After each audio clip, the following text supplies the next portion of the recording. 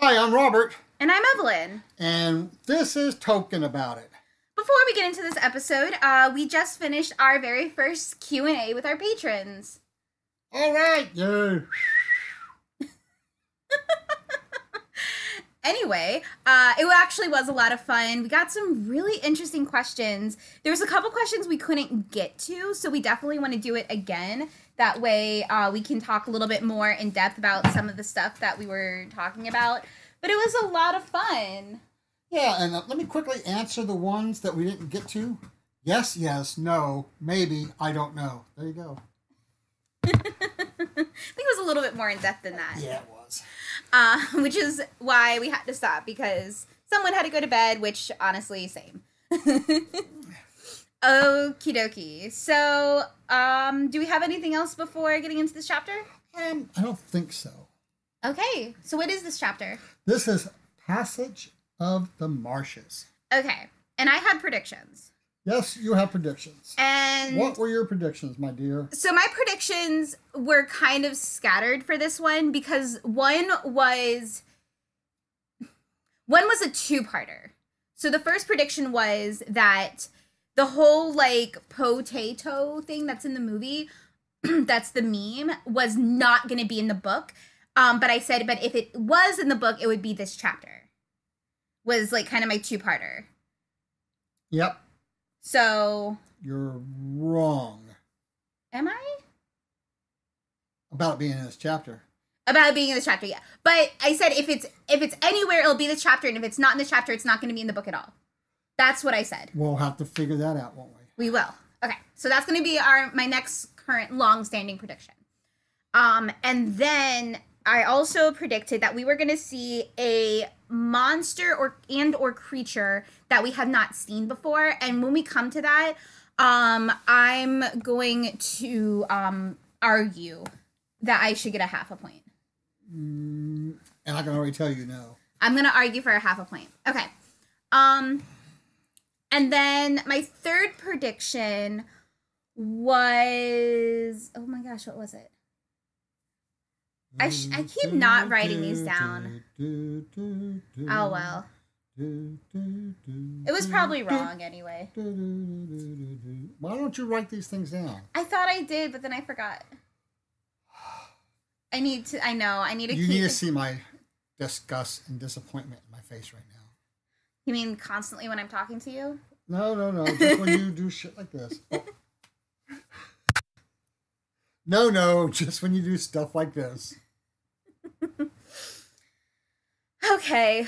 Well, we can definitely go ahead and get into the chapter then, and we'll I'll argue my point later Okay. when we get there. So, well, we left the previous chapter with Schmiegel, Willem, um, promising to behave. Yes. Oh, that was it wasn't I just remembered. It wasn't a prediction, it was like a thing for me to figure out. My prediction was by the end of this chapter I would figure out the difference between Smeagol and Gollum. Oh, okay. It was more of that. Okay, gotcha. So we'll see if I do cuz I'm honestly still not confident. Okay. Like I said, so we left the previous chapter with Schmiegel promising to behave. yes. And even when it, even the first time in this chapter, when it seems like he has an opportunity to leave, um, but he ends up waiting for them to catch up. Yes. Yeah, I noticed that when um cuz part of me was expecting Gollum to just kind of like sprint and just go and not care if they like don't make it or not. So I was actually surprised to see that he did turn around and wait for them. That did surprise me.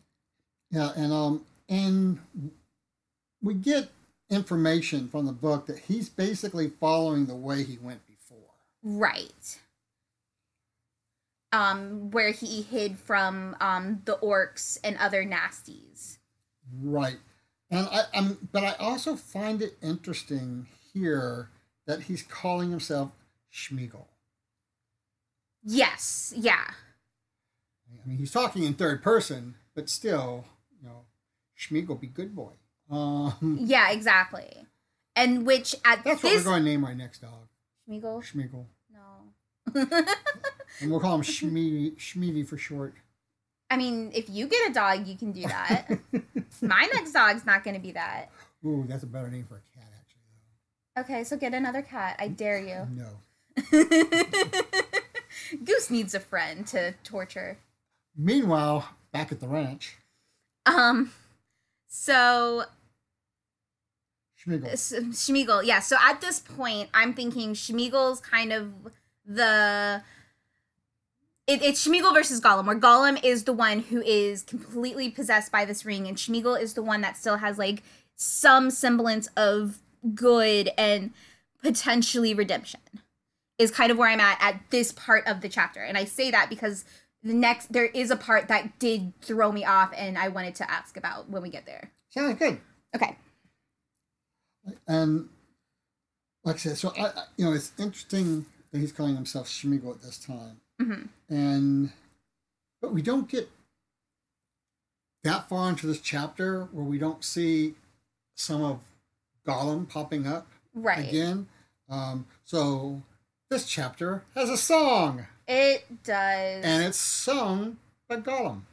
I swear, if you start singing it in Gollum's voice, I quit the podcast. I didn't even think about doing that.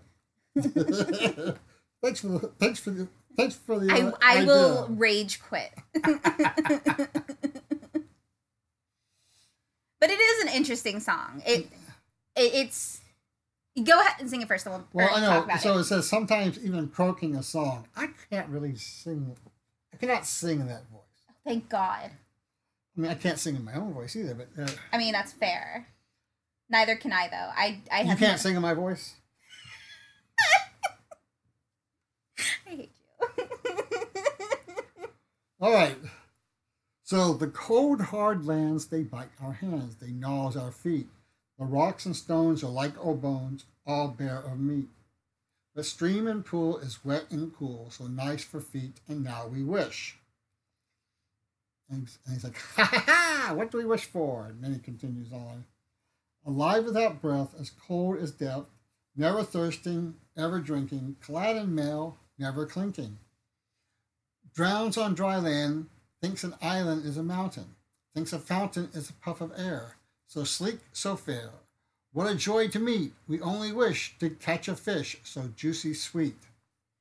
So part of this song has one of the riddles that he asked Bilbo. Yes, and he even mentions that he's just like Bilbo got it. Can you? Mm-hmm. Yeah, it's and it's to me it was almost taunting. And I wonder if he was like and it seemed like it was like directed at Sam. Like he really hates Sam. yeah, He- well, oh my it's a mutual hate society. It is. It really is. But what's interesting here, though, Sam is so obsessed with keeping an eye on Gollum, with Gollum not wanting Gollum to even really be there, that uh, he, he fails, and that he fails to think about food. Yeah, that's true. Yeah, it's not until They start to get hungry that they're like, oh no. well, it's not even not until um, Gollum mentions it. yeah, he's No, like, I mean- uh, is he gonna eat us? Well, no, but he's like, we have Lim- we have lembas, Yeah. but But this is not going to last. Right. I mean, he says, you know, somewhere in there, he says, you know, if we're really careful, we have three weeks worth. Yeah. And he's wondering uh, what they would do when, Yeah. when they run out. So they're like they're expecting a really long journey. Right. You know, they decide to hide while the sun is up.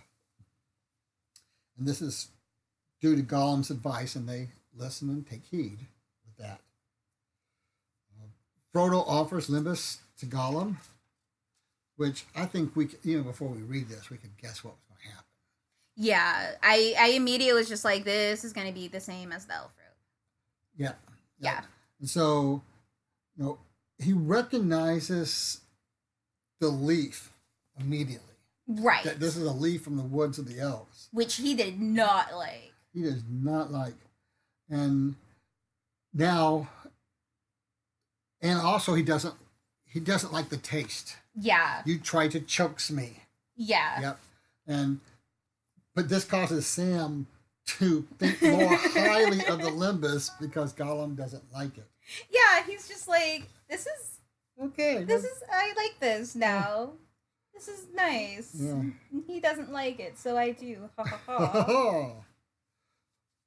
so after they eat, you know, they decide to sleep.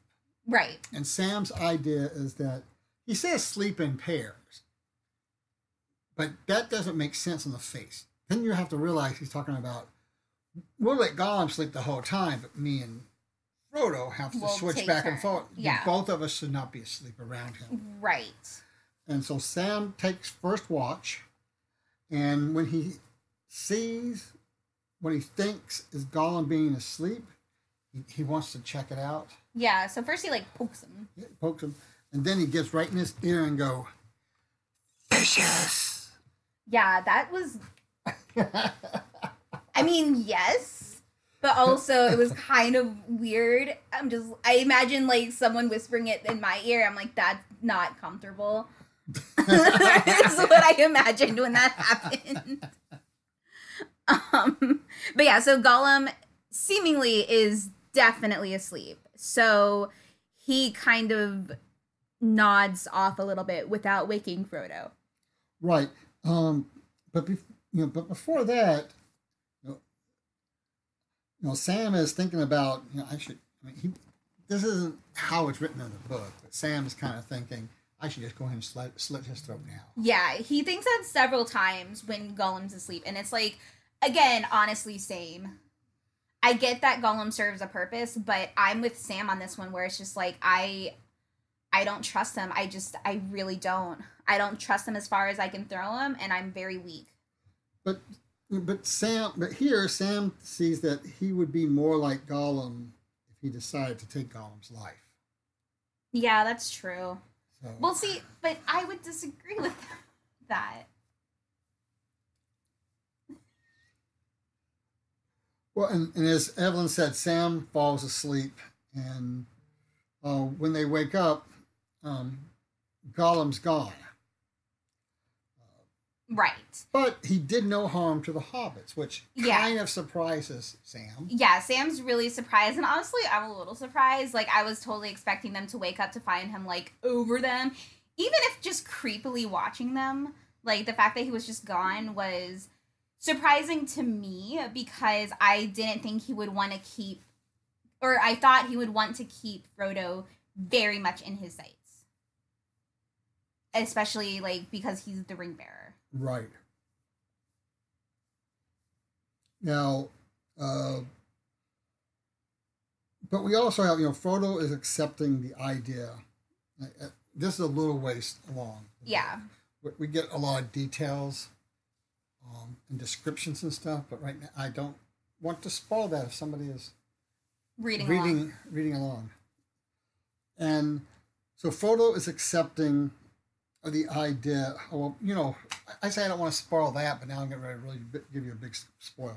Um, Frodo is accepting the idea he would most likely die once they quote do Yes. the job. Yeah, I did get that vibe. Yeah. He he's very much resigned to it. Right. And even though it's something that obviously he doesn't want to do, it's something that he will do.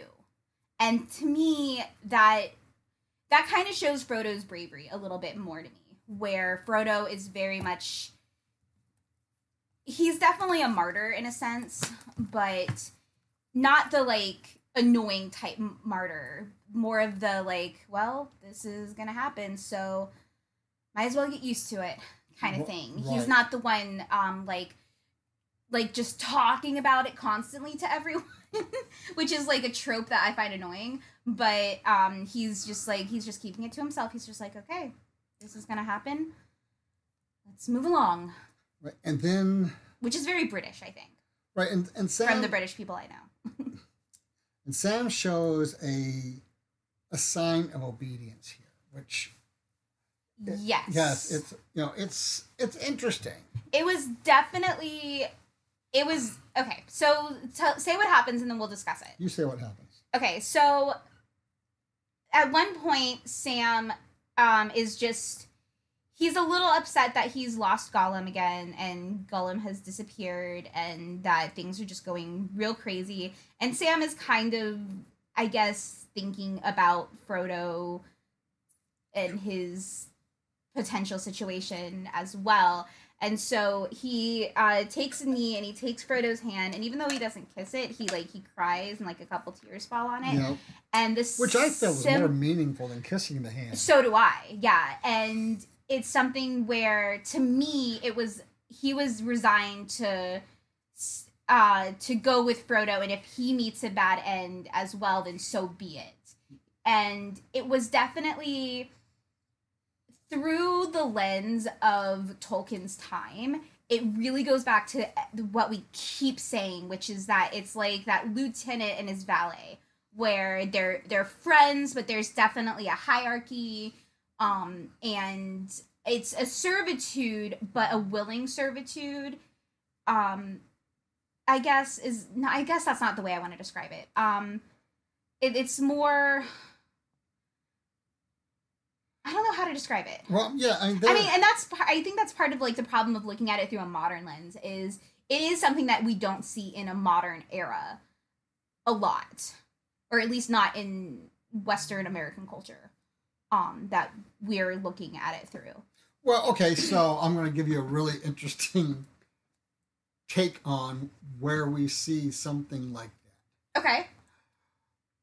The Simpsons, okay Mr. Burns, oh and smithers. and no that's different because smithers is gay for burns But also, though, he, I mean, he's, well he's just well he's gay in general but he's like in love with mr burns right. But that's kind of like where he, I mean, he ended up that way after being such a selfless servant to Burns. True, he is a very selfless serv- uh, servant to Burns, and there are times in The Simpsons where you do see like a friendship forming, Right. and I guess that is the most relevant form. I still think it doesn't quite fit. yeah, it doesn't quite fit, but, I mean, it's something the it- closest I can think of. Yeah, at least again from our American culture. Um, American culture. Yeah. Yeah, so actually that's something that we would like to hear y'all's take on. If if you guys I know we have some international listeners, if you guys know another thing that um is similar in a modern era, that would be really interesting for us to uh, learn about and to read about. Um, or if you had like a better way of describing it, we would like to hear that too. Right, and and you know, Evelyn said something in the modern world you know, today, Mm-hmm. current culture, but maybe those who are international listeners might have some completely historic ways, Yeah, you know, completely different historic ways um, that that was shown too, you know, according to their culture. And I would like to hear about that too. Yeah, because again, the only thing I can think of historically is that uh, that World War One type of Mm-hmm. one. That's really the only one I can really think of, Right. which is exactly what this is. You know what? Sherlock and Watson. Yeah, I can kind of see that. Yeah. Yeah, you see that Watson technically works for Sherlock, um, Right. and is like considered like a secondhand man kind of deal. But they're also friends at the same time. But Watson would do anything to save Sherlock. Right, especially in the form of the TV show with um, Cumberbatch as Yeah. I mean, yeah, the Sherlock, the BBC, but also Elementary with Lucy Liu. But she was a little more She, independent. she was a little bit more independent, but still at this she started out as working, well technically working for his dad, um and working for him as well. Um but then they became friends and even though she still defers to him and has a little bit um and she has a little bit more independence, um it's still very similar. right. So I believe that's our second rabbit hole so far. But this was a good rabbit this was hole. a good rabbit hole. Yeah, It this was actually trying has- to put it in context. actually had yeah context of trying to figure this out in our time. yeah. But you know, there's something else I found really interesting, is that when Gollum, you know, eats the fish and so forth, hmm he gets in the water and washes himself. Yes. So I'm wondering if, you know, if that's because he's around the hobbits and it reminds of his reminds him of his own ways. Yeah, because we don't really see him. Yeah. Because in The Hobbit, the book, and then as well as obviously early, even though this is like really our first time truly seeing him, we haven't really seen him wash himself. Though, have we gotten? I'm trying to remember. Have we gotten like any reference that he's like he stinks or gross or stuff? I mean, obviously he stinks and he's gross, but or at least from my like small memories of being terrified of him. But other than that, Well, I mean, maybe it's just a The- habit that he that is left over from when before the ring maybe it's just a habit that he's kept over the years I I think it would have been mentioned somehow before. No, I mean even if it was something like he washed his face or okay I mean because even when he puts his feet in the water, it's because it cools his feet, not because he's trying to wash his feet. oh that's true yeah And and so I and I I like to think that's because since he's around these hobbits, it reminds him of the old ways. i dig it i can go with it And then, you know, again, we have another. I'm not going to read. I, I highlighted it to read it. I'm not going to read it, but um, the we can still talk about the it folks read it. Uh, but another description of what's happening. yes i have been loving the descriptions in this book it's again it's very lengthy and tolkien really knows how to drive a point home a little too well but it's done just so well where you mm, suddenly just got a bug in my throat. Um anyway um i loved the descriptions and how it really brings you to the situation. It really brought me there. Like i was when i was reading it like the dog was on my lap and i forgot the dog was on my lap until he like sneezed because i was just so in the book And then, you know, and, and so, and then after this passage, you know, it's like, you get the hobbits were now wholly in the hands of Gollum. So Yeah. they have kind of released their their hold of him their hold of him. they're trusting him a little bit i mean as they're they're trusting him because they have to it's Well, a necessity Yeah, it's yeah, it's it's like, all right, we're gonna die anyway. Let's do this. Let's go. right, but I, I don't I still don't see it so much maybe on Frodo's part of the trust. But on Sam's part, I think he's like, you know, he's stuck between a rock and a hard place type of thing. Mm-hmm. No, I think for Frodo too. I think Frodo is stuck between a rock and a hard place as well, but he has a little bit more let's try to squeeze through attitude versus Sam's just like, uh oh. And then eventually we get, we reach the ancient battlefield, and um, they actually hardly take note of that. I mean, but this is you know, this is the old old battlefield where Yeah. three major battles have taken place, including the one where Sauron was. Mm, yeah. I don't even want to say it's because he wasn't defeated, but where they But took driven away, back. took away took away a bunch of his power. Yeah.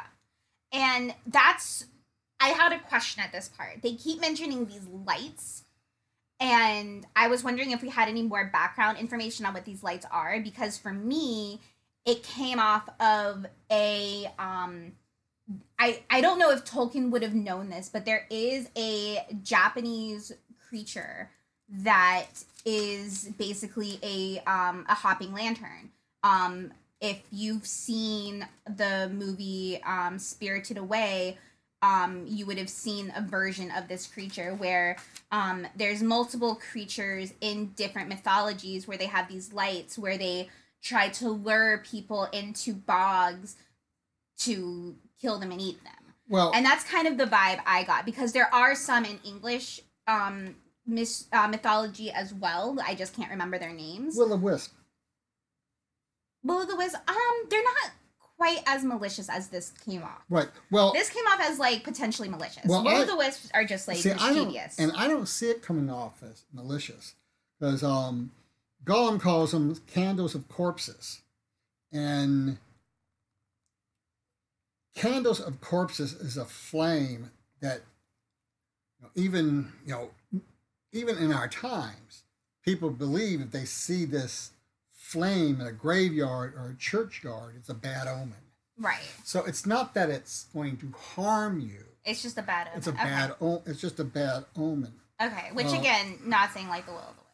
There is one like it. I just, I honestly cannot Yeah. remember off the top of my head, which is I'm disappointing myself.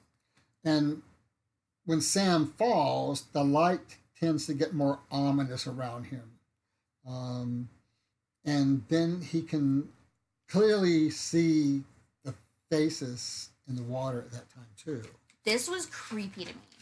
This was so interesting, and the way that um Gollum was describing it, where they're where they're asking him, is like, is this some sort of dark magic? And he's just like, I don't know, but it's creepy to me. And if it's creepy to Gollum, it's pretty freaking creepy. right Like, Well, and also what's interesting here too is the events that took place here was so long ago that he doesn't have a memory of it. right? Uh, so this, so the basically the faces are the faces of people who died, Yes. and how they got corrupted and put into this watery scene is over the years, hundreds of years, this water has expanded itself into the graves Yeah. of the people who have died Right.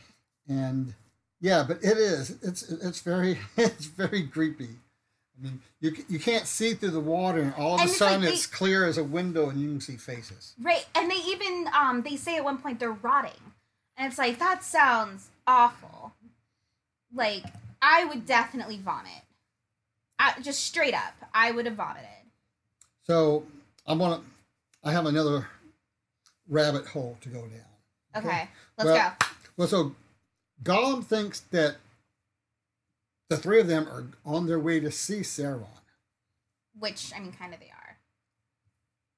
No, they're not. They're not planning on face to face him. Yeah. I mean, that's that's what Gollum is thinking. Oh, that's true. Yeah, they're not. Okay. They're they're headed in the same direction, but Gollum. So Gollum. Wait. So Gollum actually thinks. Okay, I must have missed this. So he really thinks that Frodo and Sam are just gonna walk up to Sauron and do what? What is I like? I'm just purely curious. What in the world does he think? Okay. Because he thinks what he would do. Uh huh. Okay. Well, because this is what he thinks he would do himself if he Yeah, had the power. right, but why would they do any differently? Deliver the ring to Sauron and gain a gift of power. Okay. Right. That's you know that's kind of where I see Okay. Okay. mind. All right, I can I can see where that. Okay, cool, cool. Now- that makes more sense because that makes sense in context where later, or, or it might be around here. Yeah, it is a little bit later where he kind of mentions it's just like, what if I was the great Gollum kind of thing. So Yeah. that makes that part make a little bit more sense to me. Okay, cool. Right. Well, and so the rabbit hole I want to go down, I've had this kind of on the side where we can where I can push it in here, but you know, right here, uh, you know, so Sauron is not his real name. hmm Sauron is what his enemies call him. Right. It means abomination or the putrid one. I mean, yeah. Okay. His actual name is um, Mairon, or Meriron, which means admirable. Uh, Because wasn't he himself corrupted well, he well he by pure evil? and and himself basically, Yeah. um, but he was one of the uh, primordial spirits that helped Mhm. shape the world. Okay. And then I don't want to. I mean, that's almost a whole bonus episode, but getting into where he, where he starts to turn away from the rest of them hmm is seeing that he's not even being praised for helping create Mm. and that that's the beginning. That's the first baby step towards where he ends up. So pride.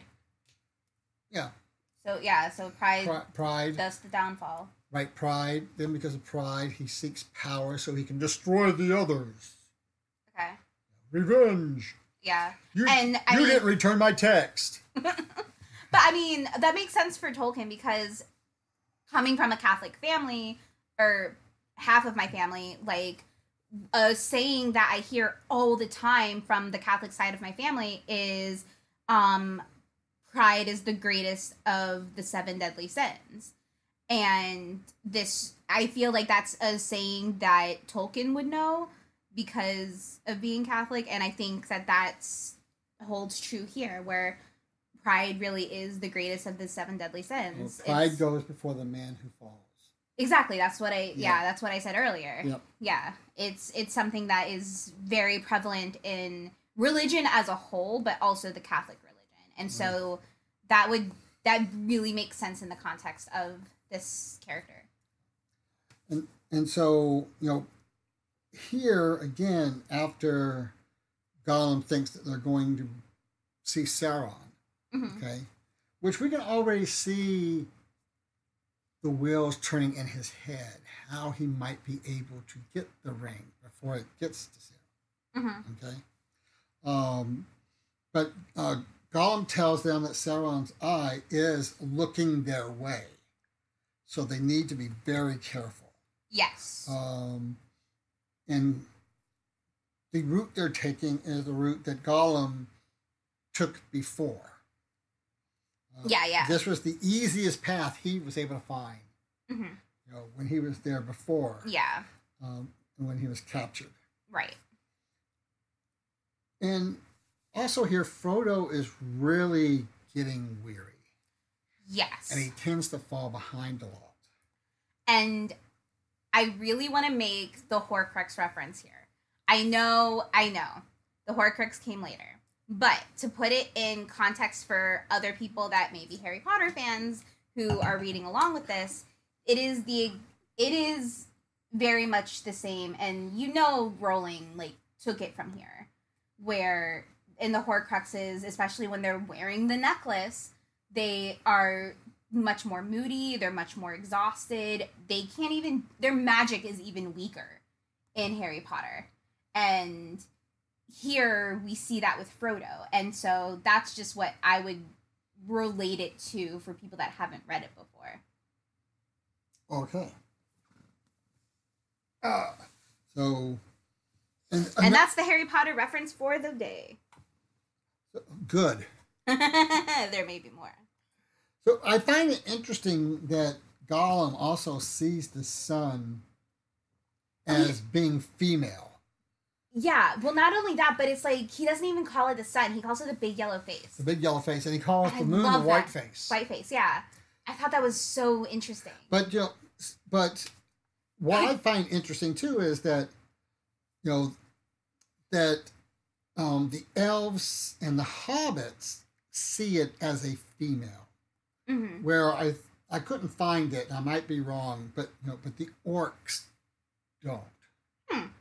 Um, the orcs the orcs see them as a masculine enemy. Interesting. Because that's really interesting that. Because I'm really curious what made Tolkien decide to classify the sun as female because in. Because we know that in that he's really into like Norse and Greek mythology, and in both of those, the sun is very masculine in those uh, mythologies and the mythos there. So I find it really interesting that Tolkien decided to have it be viewed as a female.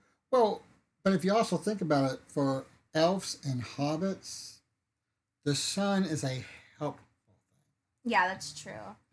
Uh, I know in uh the in one of the Japanese religions, um, the goddess of the the sun is a goddess, and I'm not even gonna try to pronounce her name because I know I will butcher it. Starts with an H, and that's all I'll, that's all I can say because I don't want to butcher that name.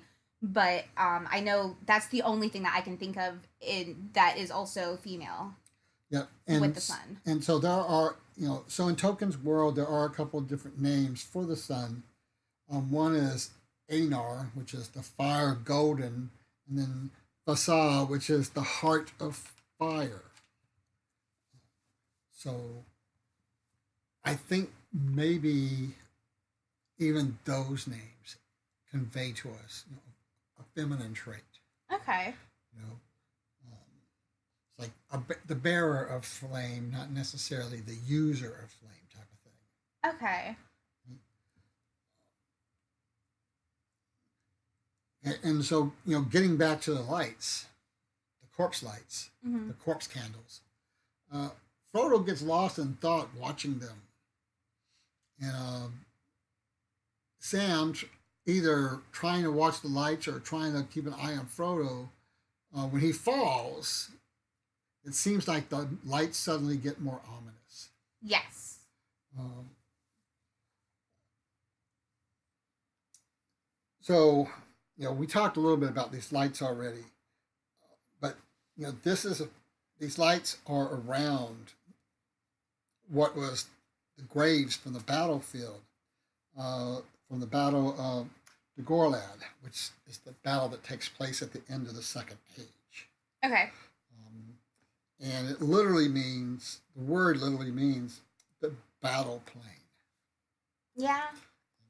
I can see that. I mean, especially since we know in Hope, uh, Tolkien has told us in his world at least three major battles have taken place there. yes. Yeah. And It's almost as if the place was destined for battles. right, exactly. Mhm. It's good. Good. That's good. That's good observation. I, I didn't think of that so much. Um, but so Smeagol then starts to smell a change coming. Yeah. And what this change ends up bringing is a Nazgul Yes. who seems to be actively looking for something Yeah. because he goes out and and circles around and goes back. Yeah, and Gollum freaks out, and that's when we, in the books, officially have the confirmation that they can that they have something that they can be in the air with. No, it's not the first time. Oh, yeah, that's right. Well, it's the first time that we that it's confirmed as a wraith on something, because before they see something, it's never named. I don't think that's right. We'll have to go back and check. We'll have to go back because for me, I didn't think it was named in the last chapter. but I think they just saw something. It wasn't actually named. This is as far as I can recall. This is the first time it's like a, like officially confirmed. so yeah, as you said though, Gollum is afraid. Yeah. Um, he, you know, and from this point on in this chapter, Smeagol seems to be going back more towards Gollum. hmm Yeah. Sam even notes like a change in his eyes. Right. And after all, you know, Gollum's been with him for five days now. Um, and they are finally at the actual, the actual, actual, actual Marsh of Despair. Yeah. Which that's a name. Yes, and Gollum and Smeagol talk to themselves Yes, Uh, and this is over Frodo as Frodo sleeps. yes, and with Sam like, which the fact that Sam didn't like immediately get up and be like, "The frick frack patty whack are you doing?" I think he wants to hear him. Probably, yeah. So so, he can so have- get a more idea. Well, and also so he can have evidence. I think he's all. I it doesn't really imply it at all, but I wonder if somehow Sam is waiting to see uh, Gollum become an enemy or try to hurt or try to hurt Frodo. to yeah i guess so he has like so that his whole thing about like you know wanting to kill him is um is vindicated Right. Yeah. I'm Sam. Sam hates Gollum so much, he's willing for his master to be bait to prove how bad. Gollum yeah is. he really is and then this whole conversation this is where i got confused because uh, like i said earlier right that up until this point i was like pretty confident that Smeagol was like the good-ish kind of one, and Gollum was like the my precious, I'll do anything for my precious type of one. But in this conversation, I I had to read it at least three times because I did get a little get confused. Um, what it seemed to be backwards to me in this conversation, where it was Smeagol who really wanted the ring and Gollum didn't, and or they both did, but it was like it was like Smeagol was the one being like, "Let's hurt him," Well, it's it's or uh, am I just did I just was I just totally mis like misreading because I really Well- did read this three times trying to well, understand you know, well, so remember, Smeagol acquired the ring the very first time through violence. That is true, yeah, Okay, so that's something to take into consideration. yeah. Where True. Smeagol, Yeah. like he, he was, and which means he was probably prone to violence prior to the ring. If the ring was able to correct, like get him to do that, like just like that. Right, and while and while it seems that both Smeagol and Gollum want the ring, it's for it's kind of for different purposes. Mm-hmm. You know, I mean, Gollum wants it because it's his precious. He Mm-hmm. can't live without it. Smeagol sees it as a sign. That is true, yes. And that's where like later in the chapter when he or later in the conversation with himself where he talks about like I can be the great Gollum, the Gollum kind of thing. And I was just like, okay. Yep. Let's go, fam, sure. Right. and so in the movie, hmm in, in the in the in uh, Peter Jackson's movie, when we get to this conversation that he's having with himself, hmm it's filmed so well. Okay, I'm excited to see it. Don't don't spoil it. Okay. Yeah. I, we'll just we'll get there when we get there. Okay. All right. Uh, but also, while Sam is watching Gollum do this, Go- he sees Gollum's fear in him. So Gollum won't even mention the name Sauron. Yeah. Yeah, he, Yeah. yeah, yeah, he's he's afraid of him. He doesn't want him to get it. He is bad. he is bad. Um, which kind of is interesting because now we have the female sun and a male nasty bad guy. Yeah. But he doesn't see either one of them as benevolent. Correct.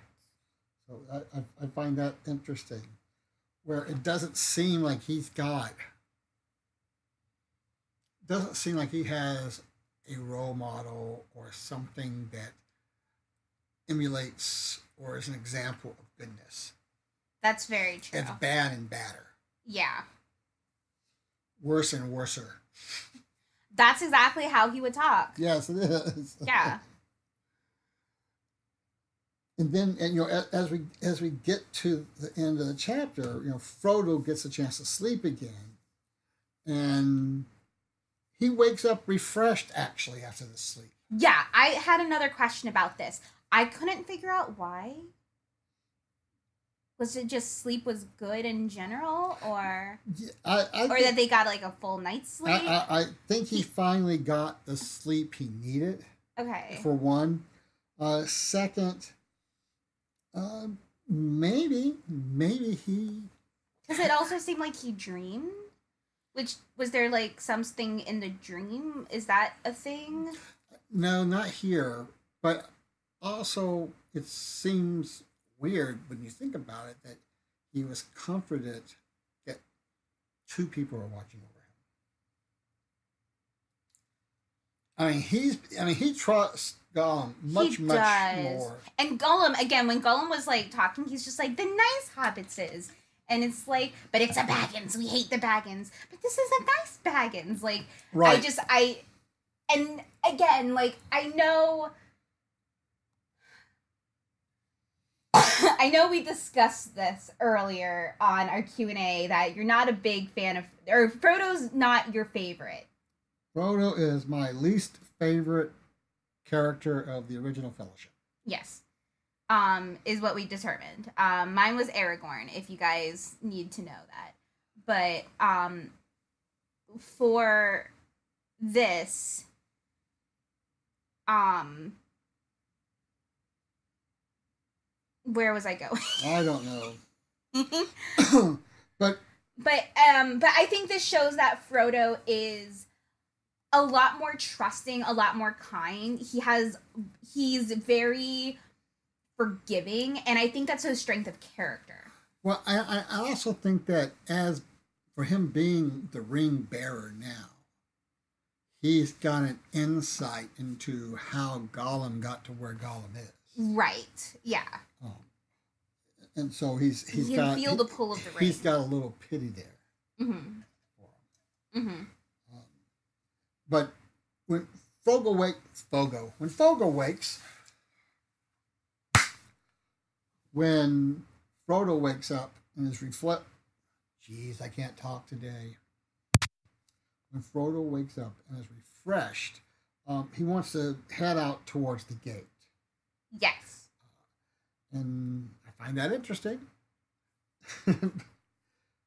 and also here we get one more flyover of the Nazgul. Right. And so we definitely know at this point, if you if we start putting two to two together, um, with the Nazgul that was seen by the other part of the party, and now the Nazgul seen, being seen here, they can't possibly be the same Nazgul. Right. They can't possibly be the same creature. Yeah. So they're probably they might be split up Mhm. into singles right now, gathering information, Yeah. especially Doing reconnaissance. yeah, especially now they're their air power. Yeah. Which we've talked about Tolkien's dislike. Yes. He's fine with reconnaissance, and that was it. That's it, right? And I wonder how he felt about the Dam Busters. Sorry, that's his whole rabbit hole. Never mind. I was watching a documentary recently on World War II. Please forgive me, everyone. bust a dam. Um, I don't know what move he just attempted, but if you guys could have seen whatever that was, you would understand my confusion. anyway, so you got anything else for the chapter? Yes. Um, I would like to petition the Council of You to get a half a point for the candle thingies. Because it is something they haven't encountered before, and it is somewhat sentient, in my opinion. He's thinking. He's There- I don't.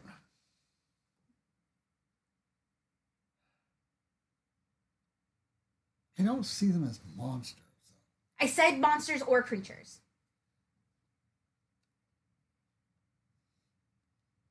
How about a quarter point? I'll take a quarter point. I'll, ta- I'll take it. I'll take it. I'll take it. Okay, cool, cool, cool, cool, cool. Um, anything else before we start wrapping up? Um, no, I think that's it. Okay, so the next chapter, again, Tolkien's bad, bad, bad way of spoiling stuff Okay. It's called The Black Gate is Closed. Um, I'm gonna predict that the black gate is closed. Uh, okay. Um. and at this point, I'm not sure. Okay. I'm not sure where we're at in the journey to. Okay. So, hmm. Let me think. I'm going to predict that they're not. That they're not even going to attempt to go through the gate. I'm going to predict that they're going to decide before they see the gate is closed not to go through it to go the back way. Can, is, does that count? Okay, you can say that. Okay. Um. Oh gosh, I need two more. Oh my goodness. Um. um, um, um, um, um, uh. I think in this chapter, this chapter specifically. So this isn't going to be like an ongoing like I think this is going to happen unless I really think it's going to happen. Um, but for this chapter specifically, I think Gollum's going to make a swipe for the ring. Okay. Um. and then something to catch in my head. Um,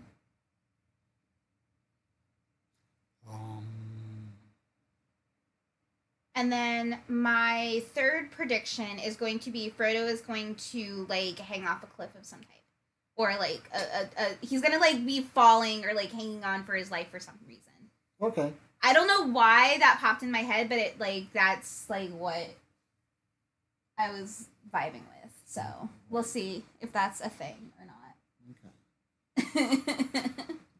All right. So join us next episode, same Tolkien place, same Tolkien time, as we continue our adventures of Lord of the Rings. I'm benevolent. I've been Robert. This is Tolkien About It. See you next time.